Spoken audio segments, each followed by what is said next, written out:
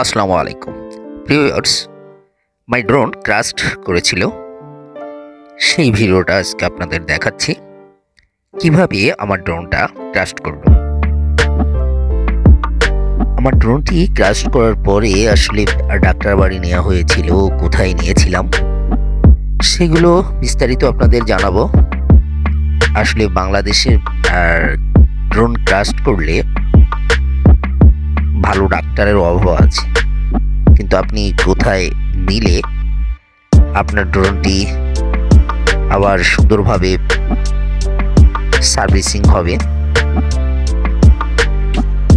সেটা আপনাদের দেখাবো। আসলে আমার ড্রোনটি ক্রাস্ট হওয়ার পিছনে কারণ আমার ফোনে কল আসছিল বারবার। সো, সেই কারণে ডিসকানেক্ট হয়ে আমি ব্যালেন্স রাখতে পারিনি। তখনই গিয়ে দেখেন এই যে এখানে একবার এই বিল্ডিংয়ে লাগতে গিয়েছিল। পরবর্তীতে এখান থেকে আমি খেয়াল করে সরিয়েছিলাম বাট পরে আর সরাতে পারিনি। এই দেখেন, এই যা।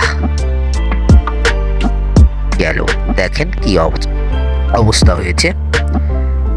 পুরো সামনের ক্যামেরা ভেঙে ঝুলে গেছে।